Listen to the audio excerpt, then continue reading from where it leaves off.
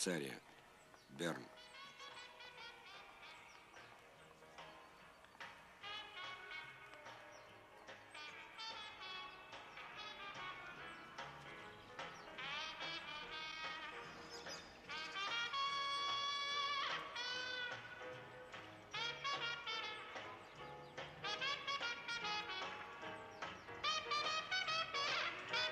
Смерть от жизни отличается двумя факторами.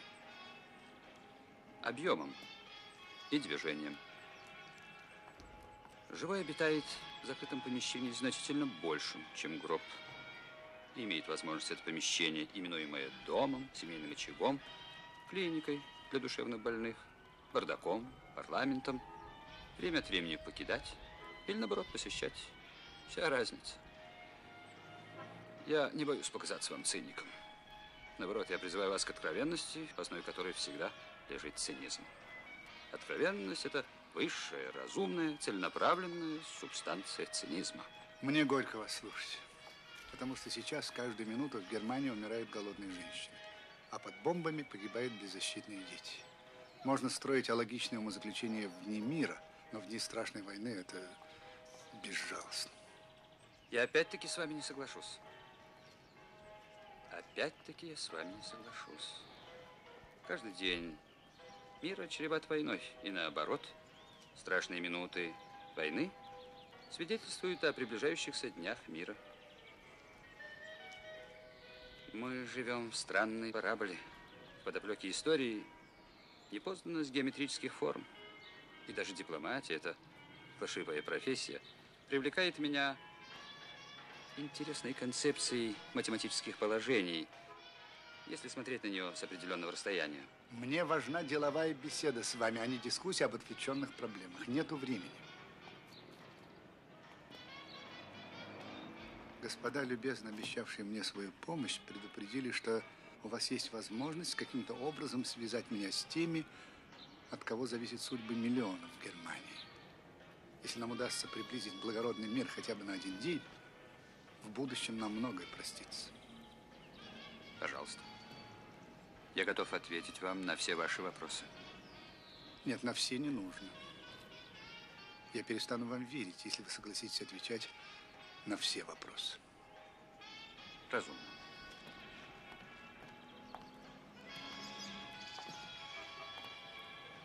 Я не дипломат. Я приехал по поручению. Да, я знаю. Мне кое-что о вас передавали. Первый вопрос. Кого вы представляете? Простите, я сначала должен услышать ваш ответ. Кто вы? Я буду говорить о людях, оставшихся у Гитлера. Им грозит смерть. Им и их близким. А вам ничего не грозит. Вы в нейтральной стране. А вы думаете, в нейтральной стране не работают агенты гестапо? Ну, это частность. Это не имеет никакого отношения к нашему разговору. Я не американец и не англичанин. Я это сразу понял по вашему произношению.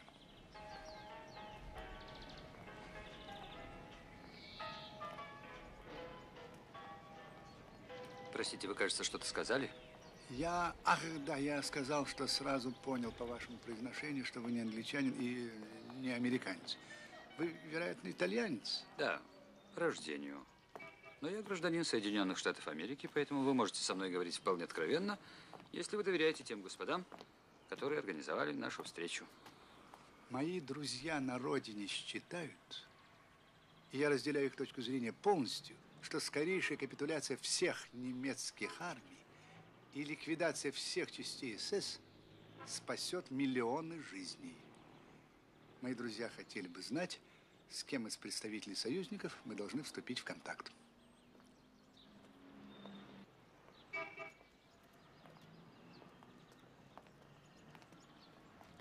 Вы имеете в виду одновременную капитуляцию всех армий Рейха? На востоке, на западе, на севере и на юге? А вы хотите предложить иной путь? Что-то у нас разговор происходит в странной манере. В переговорах заинтересованы Немцы, а не мы. Да. Поэтому выдвигать требования нам. Не правда ли? Так вот, для того, чтобы мы могли разговаривать с вашими друзьями, мы должны знать, как учили нас древние, кто, когда, сколько, чьей помощью. Иначе мы вас будем считать перевербованным агентом гестапо. Или человеком, лишенным каких бы то ни было полномочий. Либо объектом, который используют для дезинформации. Я не политик, может быть, вы правы. Я хочу, чтобы вы верили в мою искренность. Я не знаю всех тех, кто стоит за группой, которая отправила меня сюда, но человек, представляющий эту группу, достаточно влиятелен. Да ведь это игра в кошки-мышки. В политике все должно быть оговорено с самого начала. Так это же давно всем известно. Нет, мне ничего не известно. Я тебе говорю серьезно, мне ничего не известно. В политике должно быть все оговорено с самого начала. Я бы советовал вам передать вашим друзьям. Мы не станем говорить с ними до тех пор, пока не узнаем, кого они представляют. Их программу, в первую очередь идеологическую. И те планы, которые они намерены осуществить в Германии, заручившись нашей помощью. Ну, идеологическая программа понятна, она базируется на антинацизме. Ну да, это первая ступень идеологии. А какой видится будущее Германии вашим друзьям? Куда она будет ориентироваться? Какие лозунги вы предложите немецкому народу? Нет, если вы не можете ответить за ваших друзей, то, может быть, вы скажете вашу точку зрения. Моя точка зрения будет субъективной. Во всяком случае, если вы опасаетесь коммунистической ориентации, вы ошибаетесь.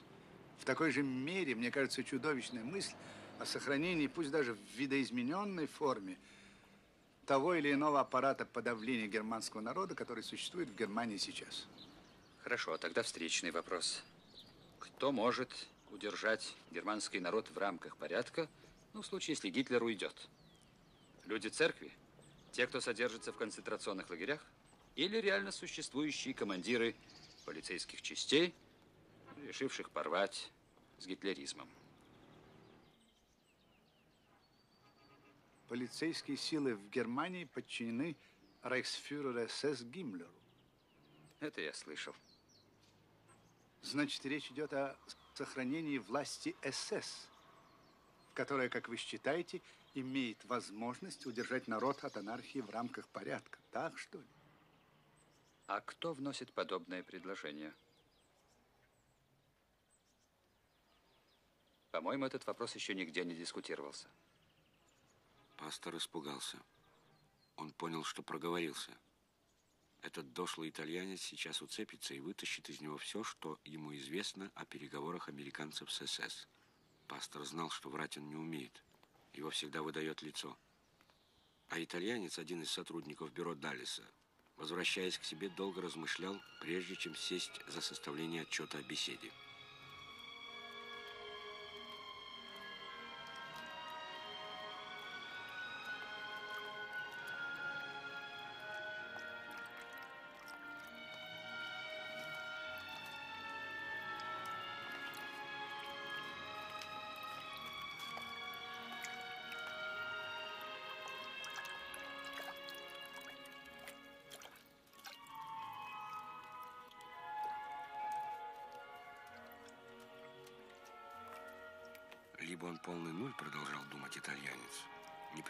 Представляющий ничего в Германии, либо он тонкий разведчик.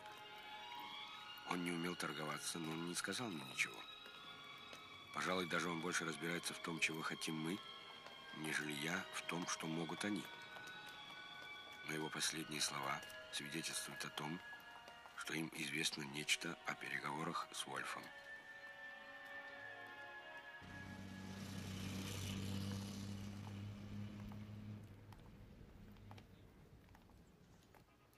Я здесь представляю Святую Церковь и его святейшество всего второй месяц, но смело могу сказать, уже вполне акклиматизировался. Так что, если нужна моя помощь, как вы устроились? Спасибо, пока мне ничего не нужно. Я очень рад, пастор, видеть вас здесь, в безопасности. И рад, что вы не успокаиваетесь и ищете новые волнения во благо спокойствия паствы. Если я завтра утром получу новые сведения из Ватикана, я смогу вас навестить, пастор? Буду рад.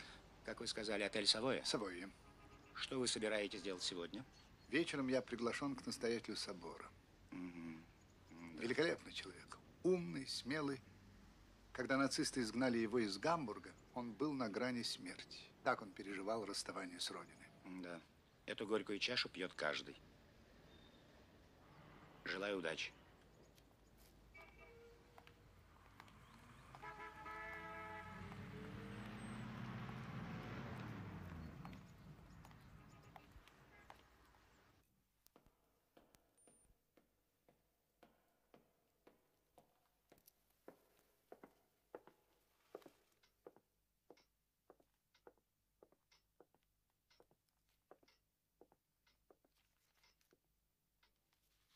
Джованни, я продиктую вам депешу.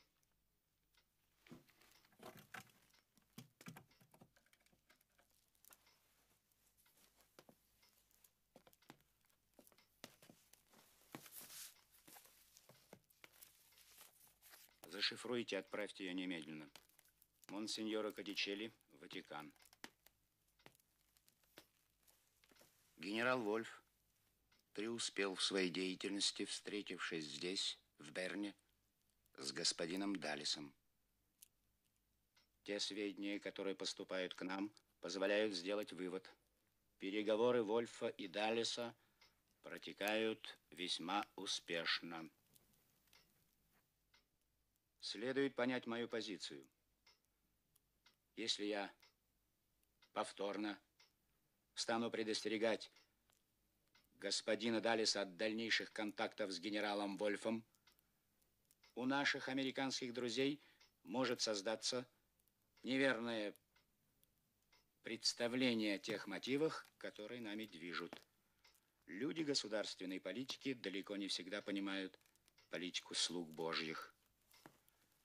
Положение казалось мне тяжким и безвыходным до тех пор, пока сюда в Берн не прибыл пастор Шлак.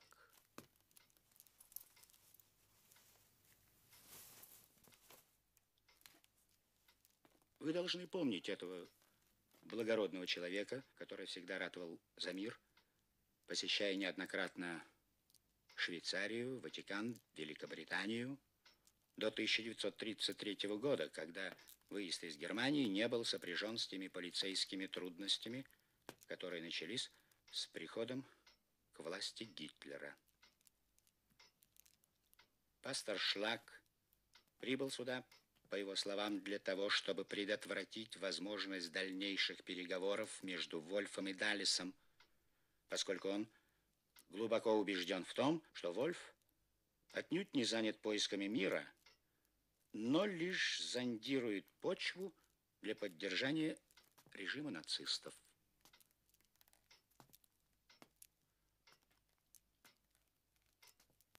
Я просил бы вашей санкции на более откровенные беседы с пастором Шлагом.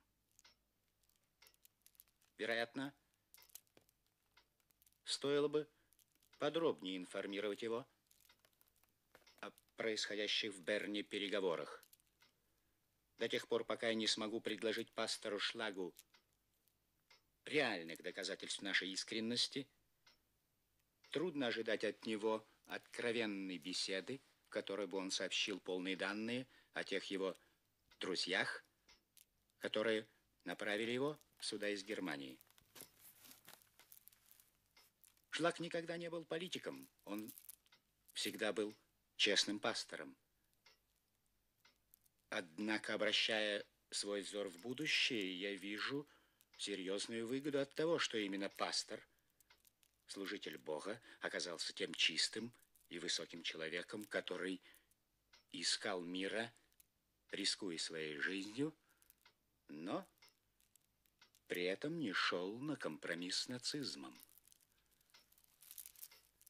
Этот высокий пример гражданской мужественности Сына Божьего и его слуги поможет нам, когда измученный народ Германии так или иначе вернется в лоно Святой Церкви, и пастор Шлак – либо светлый образ его, либо светлый образ его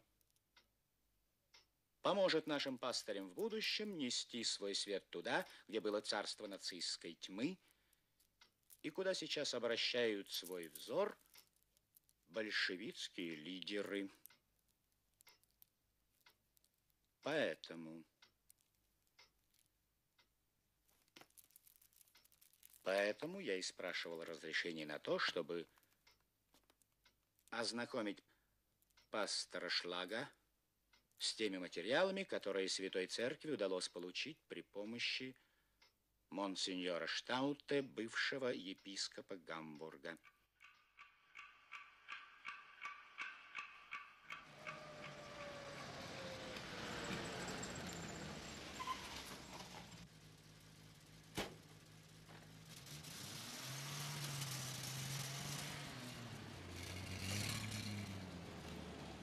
Приехал оберштурманфюрер Рольф. Продолжайте наблюдение. Ясно. Скажите, сколько времени? Мои остановились. 7 часов 25 минут. Устраивает?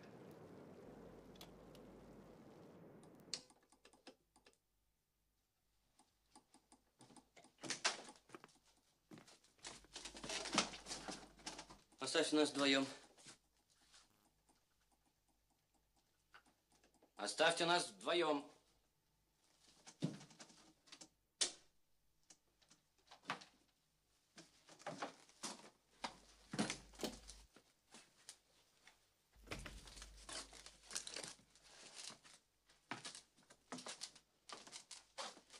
Вы позволите мне покормить мальчика? Я боюсь, что он не даст нам работать. Мальчик подождет. Это невозможно, он должен есть по часам. Хорошо, вы покормите его, как только ответите на мой вопрос. Мы заняты.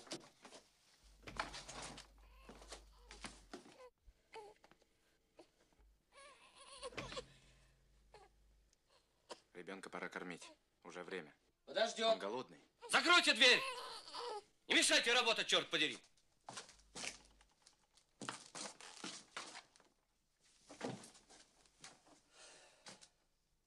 Так вот,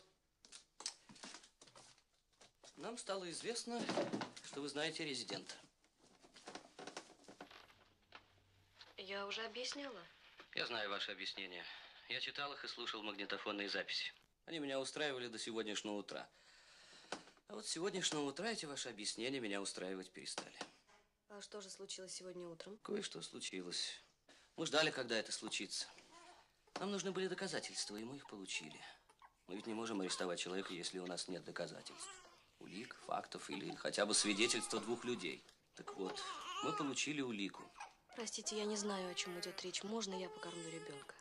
Сначала вы мне расскажете, где и когда у вас были встречи с резидентом, а потом пойдете кормить ребенка.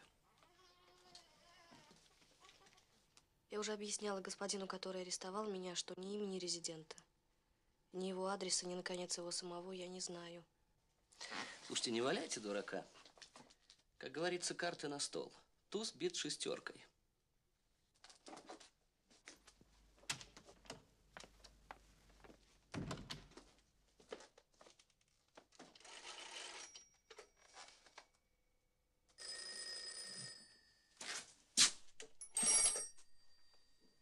Говорит дежурный по охране.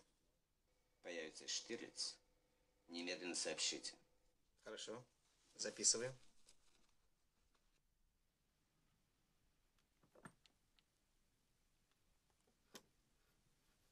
Мюллер решил сыграть партию со Штирлицем сам.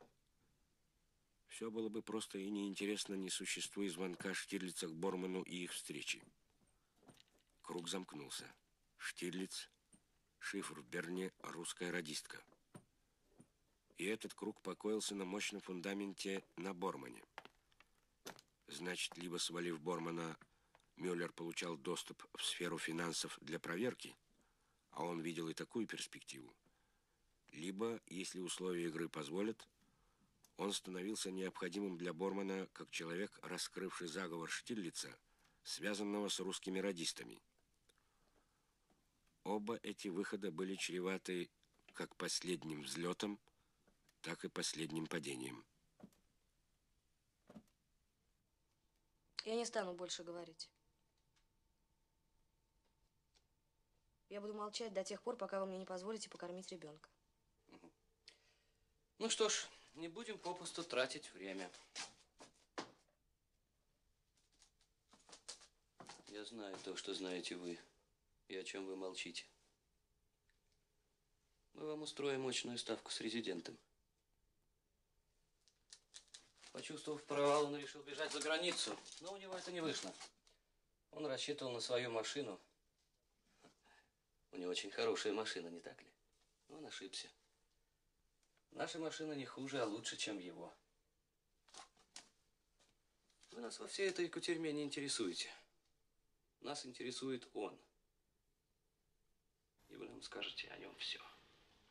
Все до конца. Мне нечего сказать вам.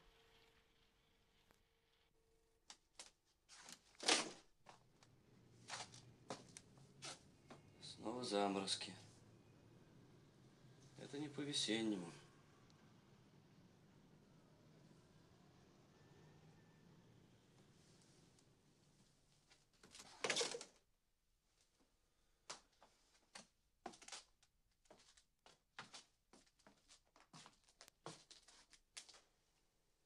Руки.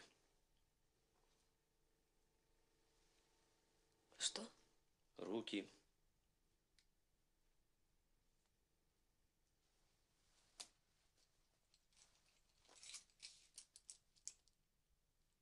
Руки. Что вы хотите делать? Руки!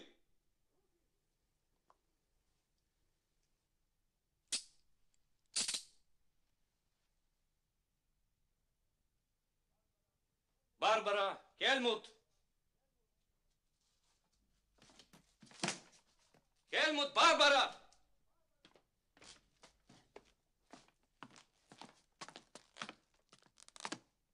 Принесите младенца.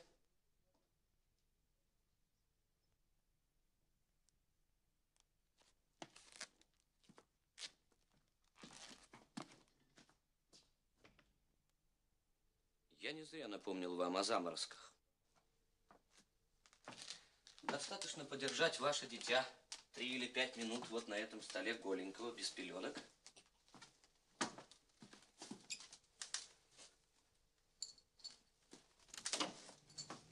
И он умрет.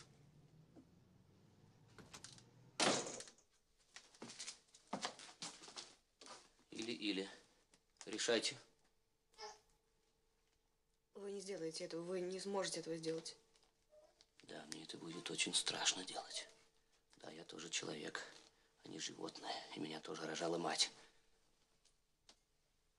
Но именем всех матерей Рейха я сделаю это. Именем детей Рейха, которые гибнут под бомбами, я сделаю это. Где ребенок? Несите его сюда, черт возьми! Гельмут! Гельмут, вы меня слышите? Принесите ребенка! Хельмут!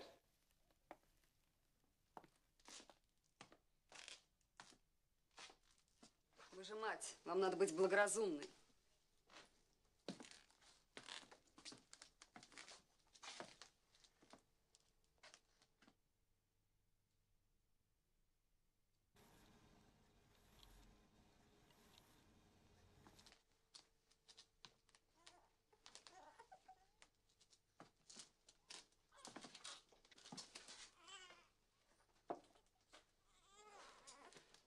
Ну? Ну?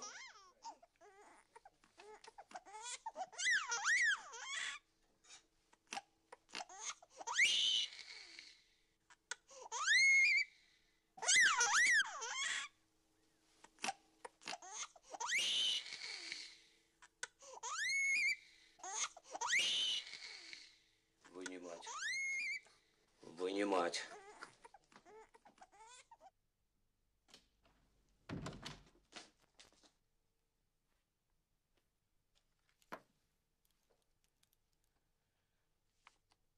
Вы отлично выглядите. Ха, Отлично. Пальто могли бы снять, кстати говоря, в приемной. Но потому что вы вошли ко мне, не сняв пальто, я понял, сестры пастора с детишками не нашли? Не нашел. А подробно? Как это было? Где она? Куда она исчезла? Ночью за ней приезжала машина. Что за машина? Кто был в машине? Чья машина? Установить не удалось. Соседи просто слышали шум подъехавшей машины. Потом они увидели свет, который пробивался сквозь щели светомаскировки. Потом снова заработал мотор машины. Больше они там не появлялись.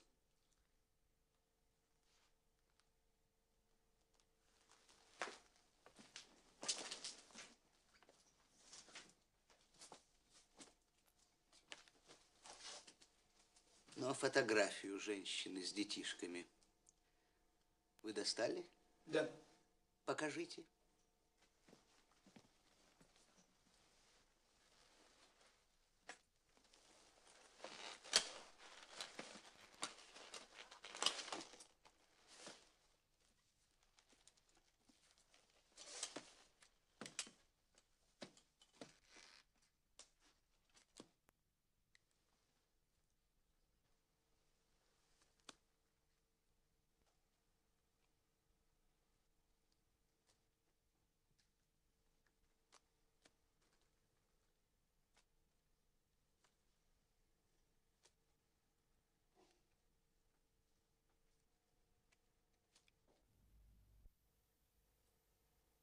Так.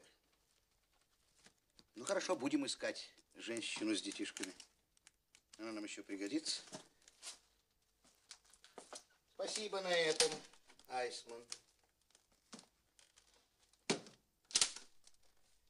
Ну, а что делать вот с этим?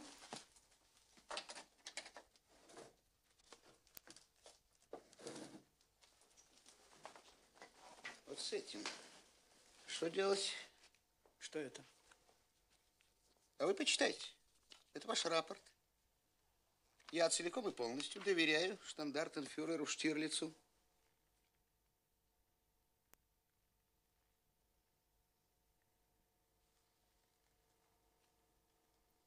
Будь мы все трижды прокляты.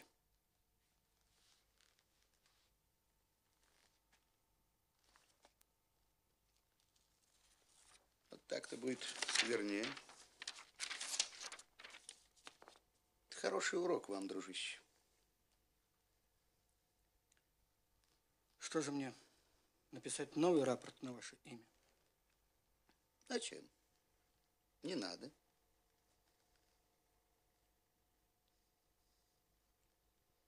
Но я считаю своим долгом отказаться от прежнего мнения. А хорошо ли это?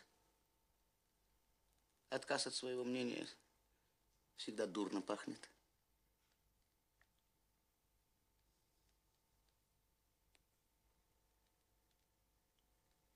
Что же мне теперь делать? Верить, что я не дам хода вашему рапорту. Всего лишь. И продолжать работать. Идите. Контрразведчик должен знать всегда, как никто другой, что верить в наше время нельзя никому, порой даже самому себе.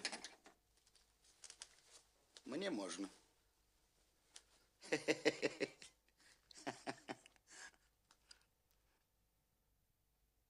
Ну, довольно лирики.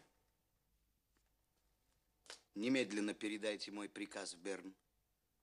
Дальнейшую разработку связняка прекратить.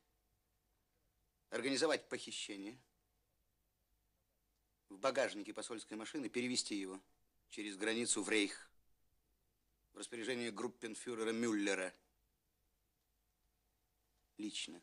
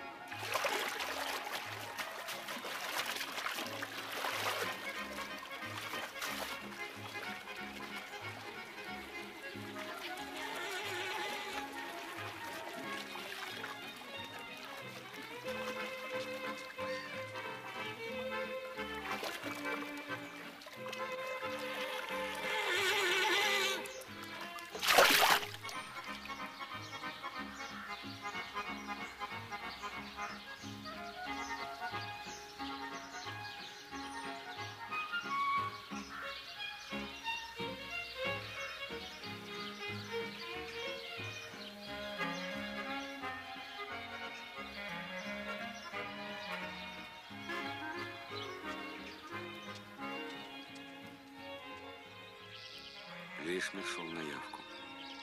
Он специально вышел на полтора часа раньше, чтобы побродить вот по этому зоопарку, расположенному на берегу Аары.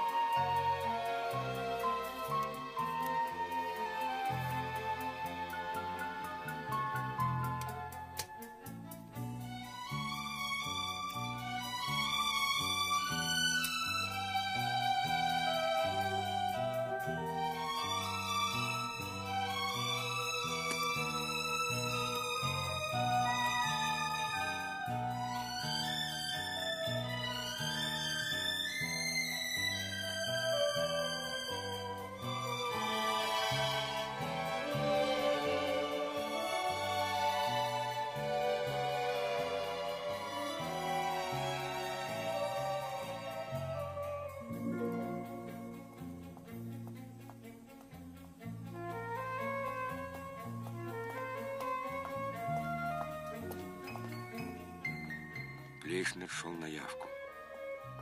Он теперь все время был в приподнятом настроении. Он выполнил поручение Штирлица, он готов был к любым другим поручениям. Он ждал теперь от жизни только хорошего. Все дело было в том, что весь вчерашний вечер и сегодняшнее утро он сидел и работал над рукописью новой книги. У него было совсем мало денег, но он вовсе не задумывался, как будет дальше. Листы белой бумаги ждали его, разложенные на столе. И это вносило в его жизнь порядок и смысл.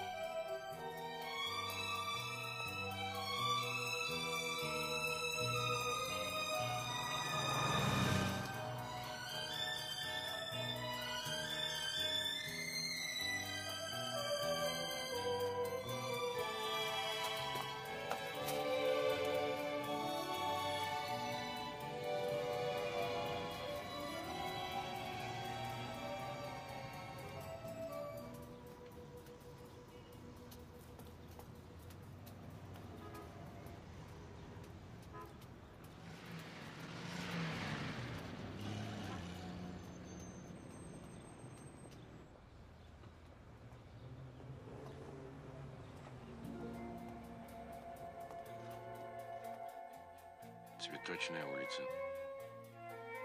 Он остался доволен своей зрительной памятью. В этот раз он сразу нашел эту улицу. Теперь дальше. Вот к тому дому, номер девять.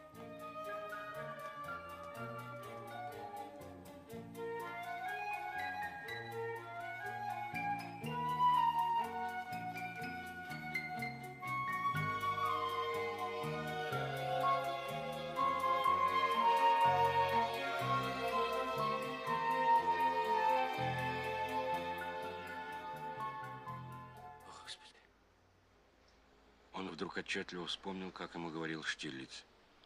Вы придете на улицу под названием Цветочная. Вы должны пойти по четной стороне домов. И, проходя мимо дома номер 9, посмотреть на окно во втором этаже, слева от парадного. Цветочная, дом номер 9, окно во втором этаже, слева от парадного. Вы подниметесь в квартиру только в том случае, если на окне не будет цветка. Цветок – это провал. Тогда, позавчера, он этого не сделал. Господи.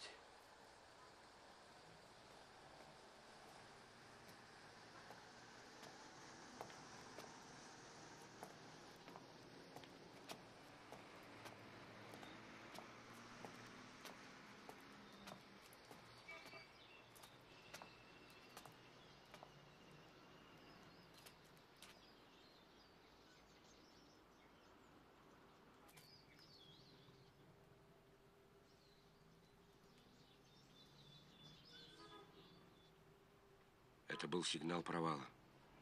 Русский разведчик, почувствовав за собой слежку, успел выставить этот сигнал тревоги.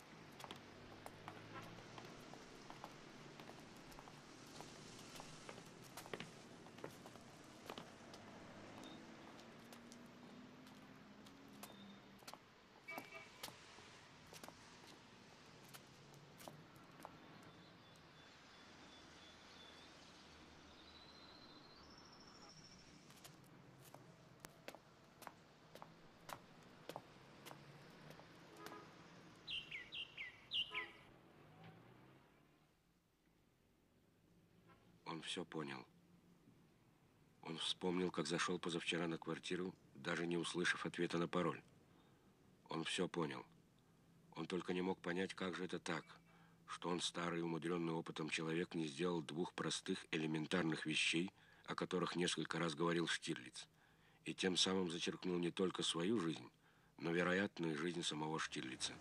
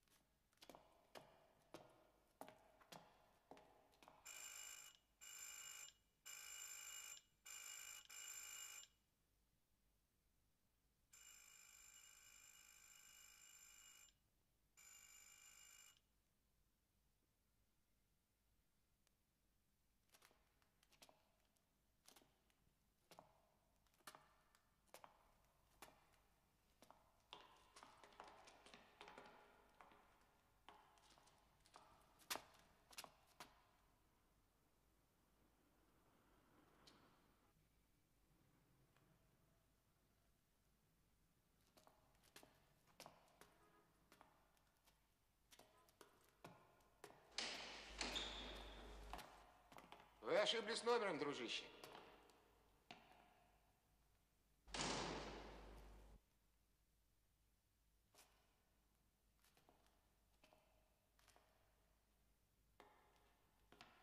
Вы ошиблись номером.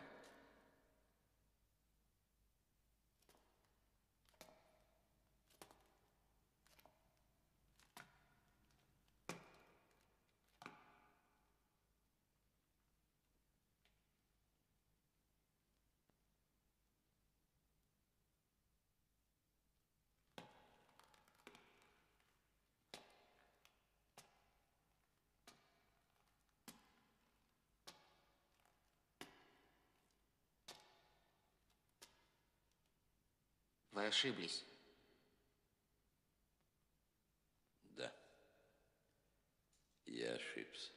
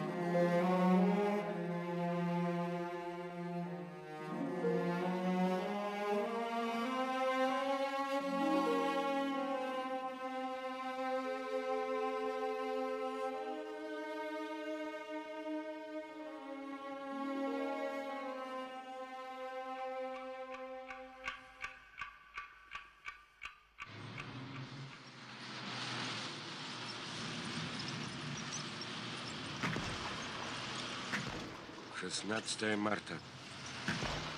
Войска Первого Белорусского фронта на Штетинском направлении вели бои с целью ликвидации плацдарма противника на восточном берегу Одера и уничтожения группировки войск противника, блокированной в городе Альтап.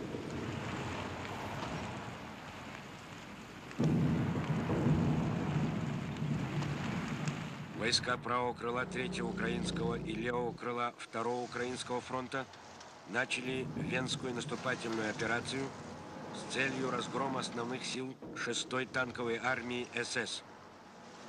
Другой удар войска нанесли на Тьер с целью разгрома Эстергомско-Товарожской группировки врага.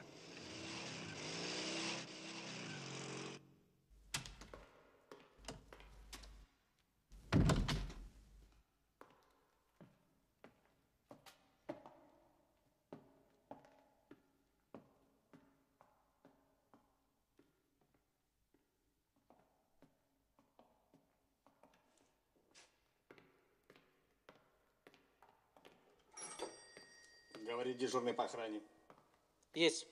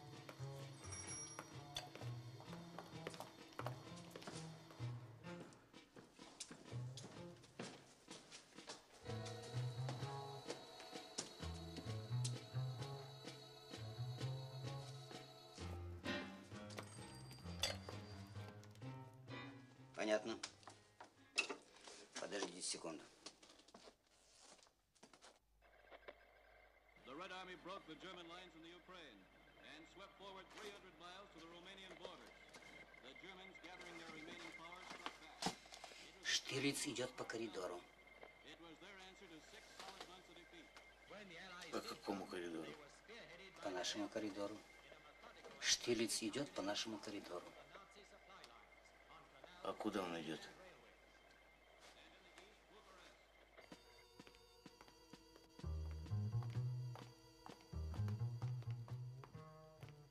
Штирлиц шел к Мюллеру.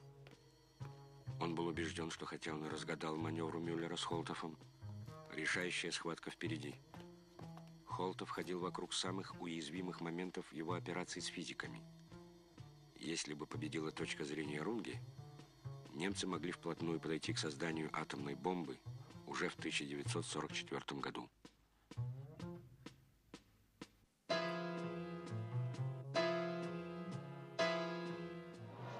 Это было в 1943 году.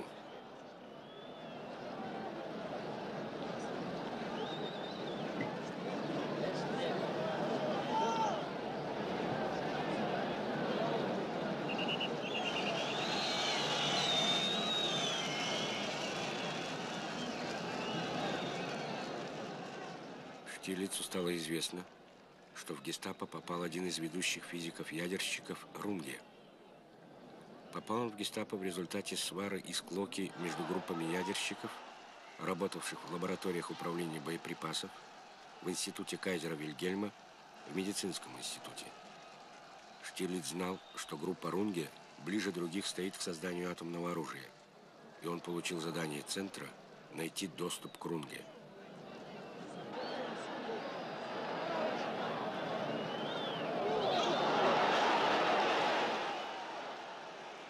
Откуда у вас эти сведения?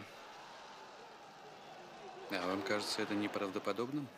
Вовсе нет. Там собралась хорошая компания. Ферми, Эйнштейн. Занимается этим Оппенгеймер. Да, возглавляет все это он.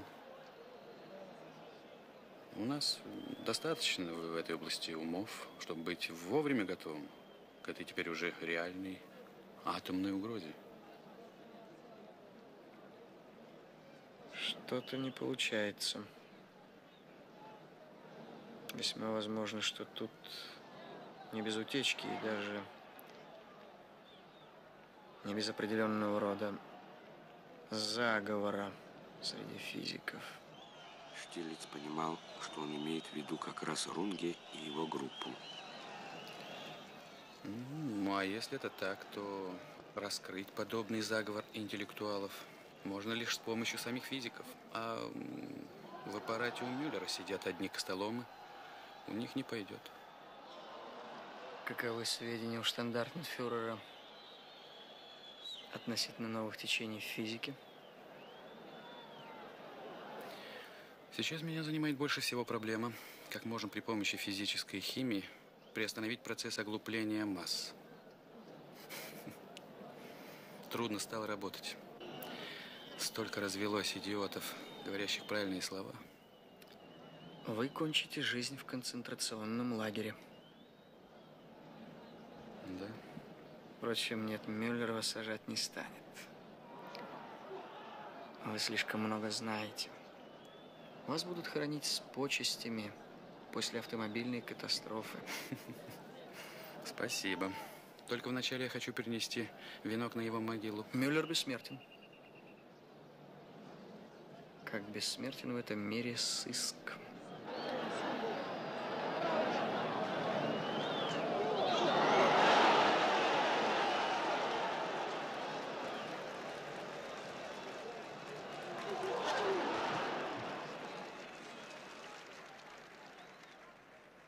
После этого разговора прошло полтора месяца. Штирлиц никогда не торопил события. Выдержка, считал он, оборотная сторона стремительности. Все определяется пропорциями. Искусство, разведка, любовь, политика. Второй раз разговор о физике Рунге возник совершенно неожиданно во время праздничного вечера, посвященного дню рождения фюрера. Этот день рождения, в отличие от празднований в другие годы, проходил довольно скромно.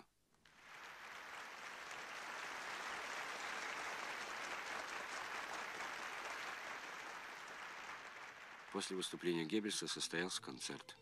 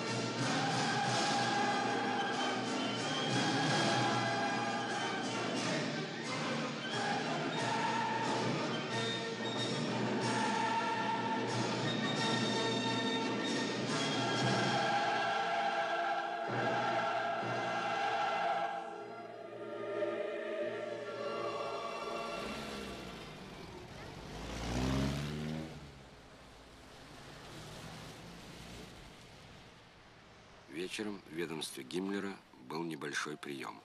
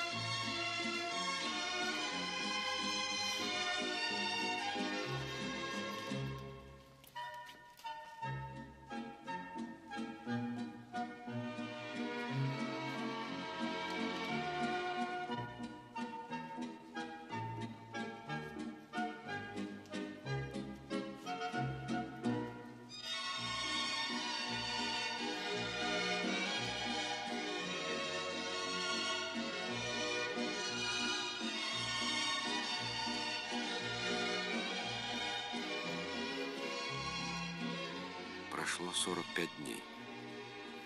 А точнее, 45 дней и 6 часов. И вот Штирлиц в разговоре к слову сказал Шелленбергу о том, как неразумно работают люди Мюллера с физиком, арестованным месяца три назад. Худо-бедно. Я все-таки закончил физико-математический факультет. Одно время из этой физики я был на грани физического истощения. И потом. От Рунги идут связи. Он учился и работал за океаном. Выгоднее этим заняться нам. Вы специализировались по квантовой механике. Это вам сказал Мюллер? Нет, у меня свои возможности. Штирлиц подбросил эту идею Шелленбергу и начал рассказывать смешные истории. Он намеренно ушел от дела Рунге, сосредоточившись на обсуждении других проблем.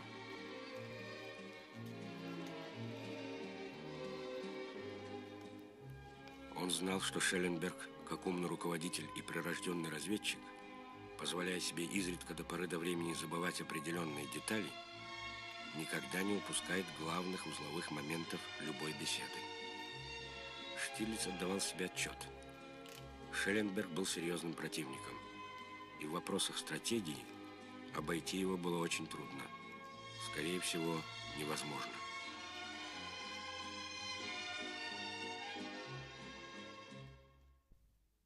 Присмотревшись к нему, он отметил любопытную деталь.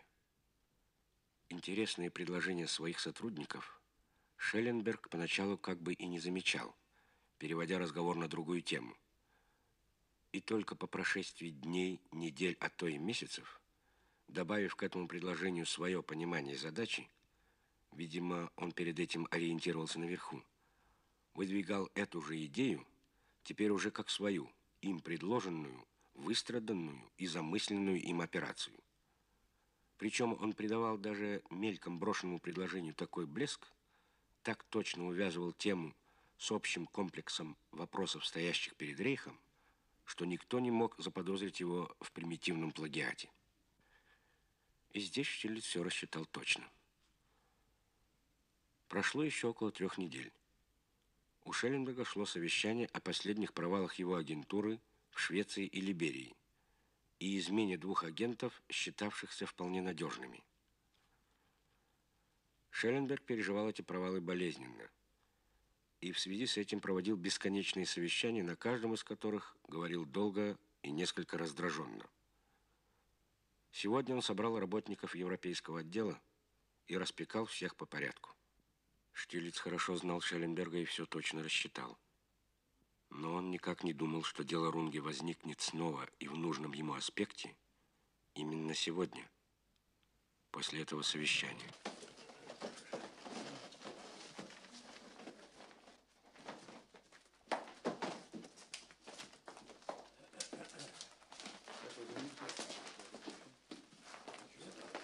Штирлиц, я прошу вас остаться.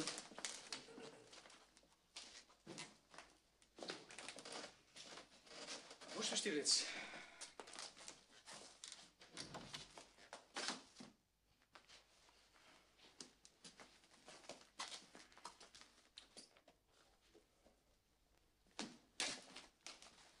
Принесите, пожалуйста, кофе.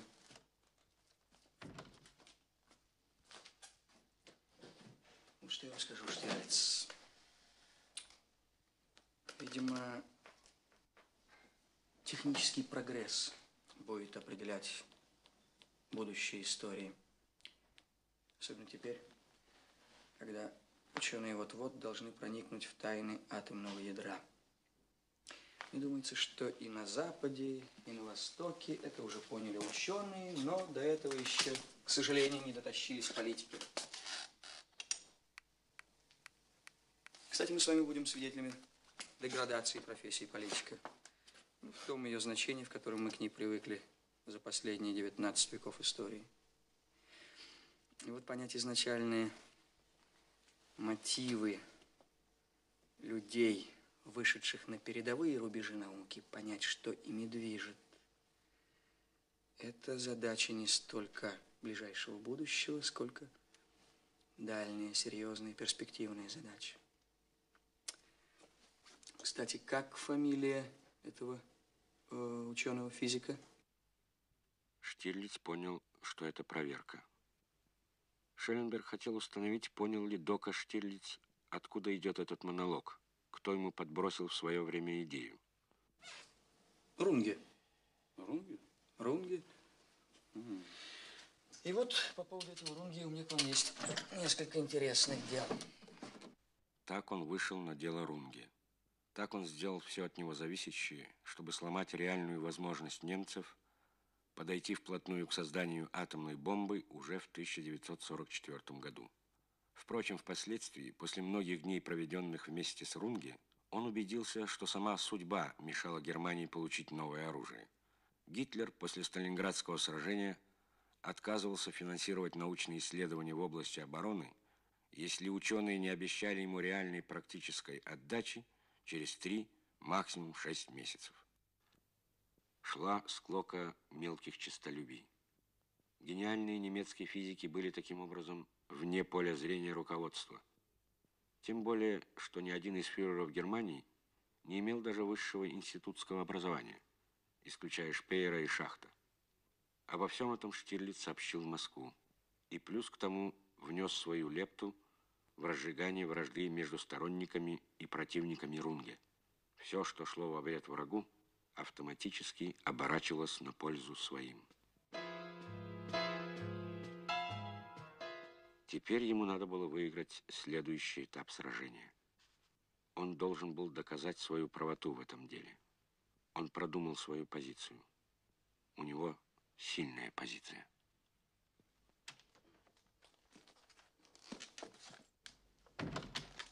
Дружище, доложите вашему шефу мои извинения. Я обещал быть в 9, а возвратился только в 9.12. Какие будут указания? Он меня сразу примет или мне можно полчаса поспать? Я сейчас узнаю.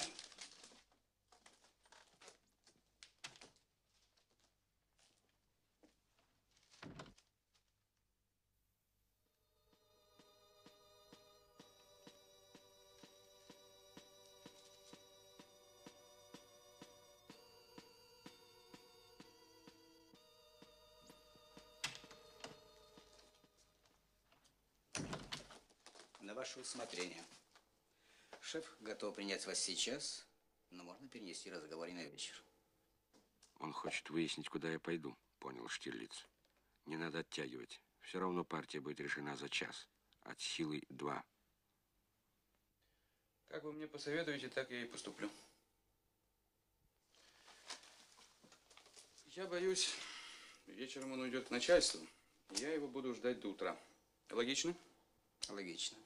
Значит, сейчас. Пожалуйста.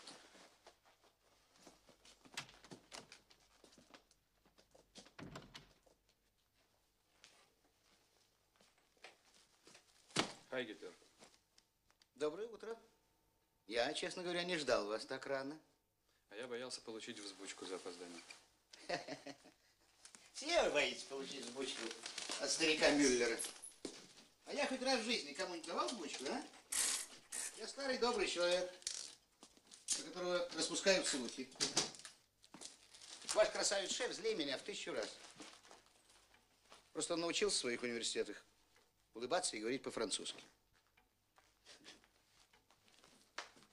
А я вот до сих пор не знаю, как полагается, резать яблоко или его надо есть, как едят у меня дома, целиком. Вот, с косточкой.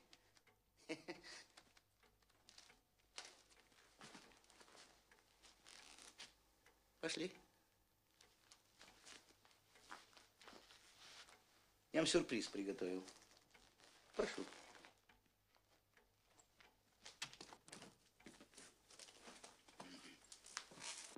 Мы скоро, видимо, вернемся. Я еще не вызвал машину. А мы никуда не едем.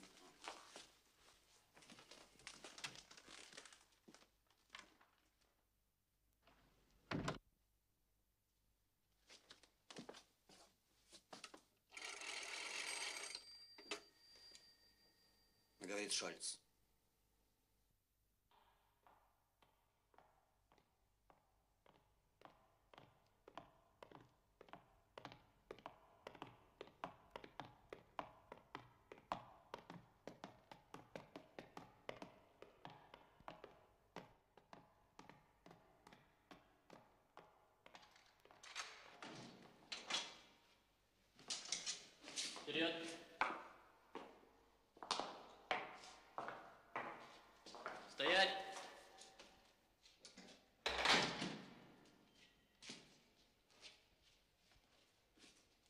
Пошел.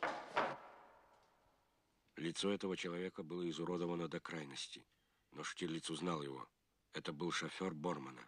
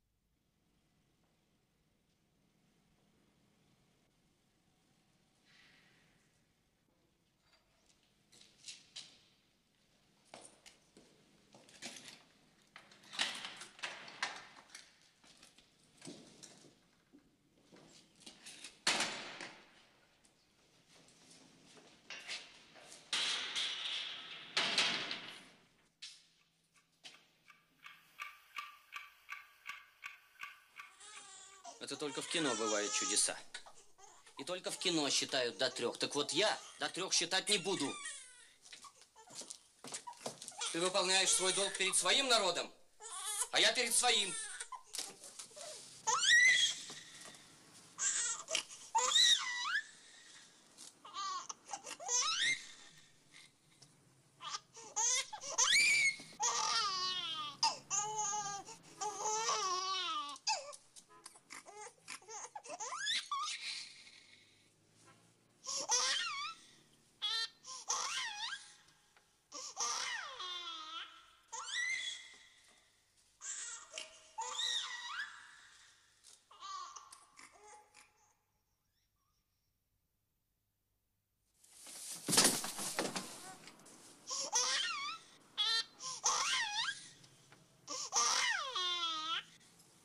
Хельмут, возьмите мальчика.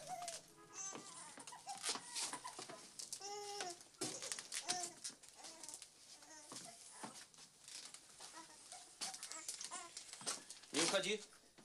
Она сейчас очнется, и я буду продолжать Барбара, принесите, пожалуйста, воды, ей и мне. Если есть сердечные капли, влейте в стакан. Сколько ей надо капать? Не ей, а мне. Хорошо, сколько? Откуда я знаю? Десять или тридцать?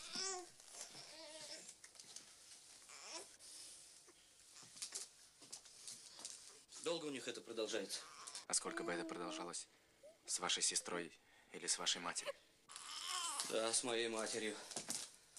Сволочи хотят быть чистенькими. А мне предлагают гнусность. Дайте спички. Я не курю. Барбара, захватите спички. Посмотрите-ка, она очнулась. У нее века дергается. Я не разбираюсь в этом.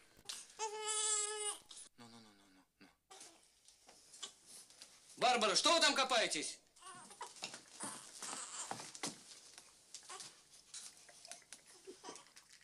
Какая гадость. Она не умерла?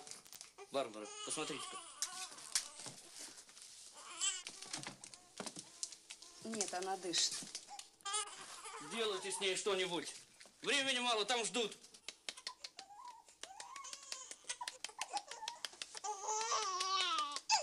Да сделайте вы с ним что-нибудь, невозможно это слышать. Я же вам говорил, ребенок хочет есть. Что вы заладили, как попугай? Не думайте, что только у вас есть сердце. Разрешите мне унести отсюда ребенка.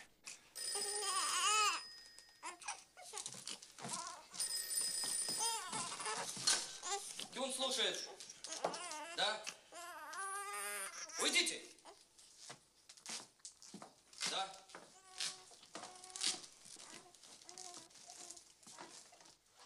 Нет еще пока. Думаете, это так просто? Можем поменяться ролями. Когда он начал его допрашивать? Молчит? Ах, они говорят, как друзья.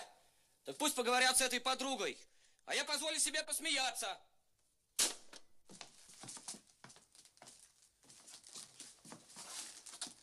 Кажется, она пришла в себя. Да, она пришла в себя. Давайте-ка ее посадим.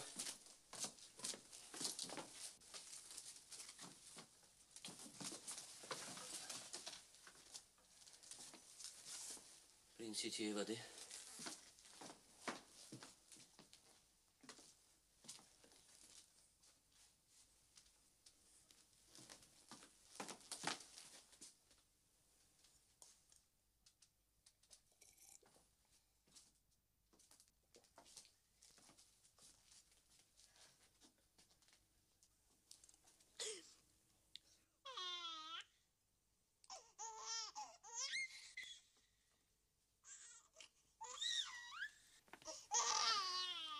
Ах ты, бедняга, голодный.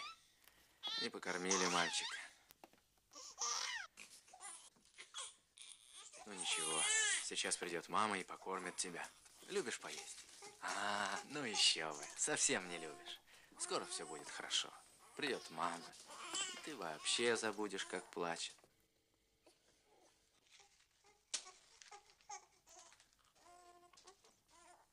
А ну-ка, хватит, хватит, хватит. Где была правда, там была правда. А сейчас вы начинаете бабьи игры, не выйдет. Вы сунулись в мужское дело, и фокусы тут не проходят. Поднимите голову. А ну, поднимите голову! Ладно. Сейчас я позову Хельмута и открою окно. И тогда она откроет глаза, но уже будет поздно. Ну, надумали? Будем говорить. Я должна подумать. Нет у нас времени на раздумья. Я не знаю, что говорить. Вы ведь не хотите, чтобы я врала вам? Нет, я не хочу, чтобы вы мне врали. Я хочу, чтобы вы мне сказали правду. Я сказала все, что знала. Так, ну хорошо. Я помогу вам, чтобы вы не чувствовали себя отступницей. Вот. Ясно?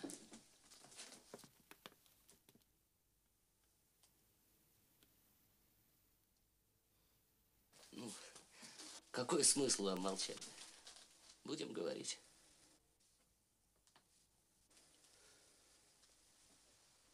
Будешь говорить? сука, или будешь молчать?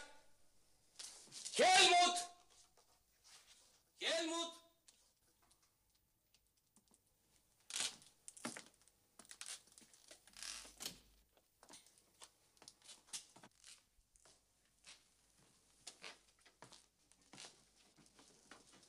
Сколько раз я тебя должен звать? Я тебя двадцать раз должен звать! Но мальчик уснул. Плевать. Барбара, откройте дверь.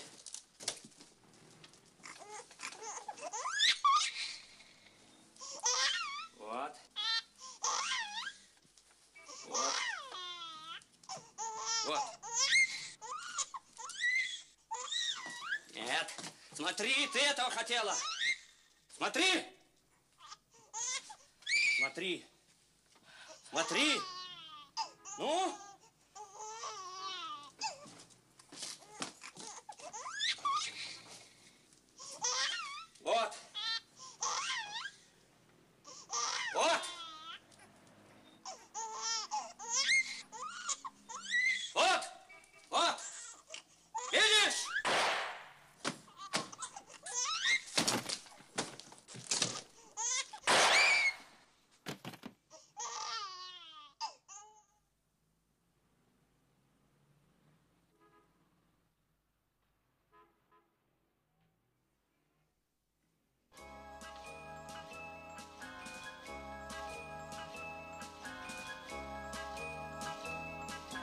Не думай о секундах свысока.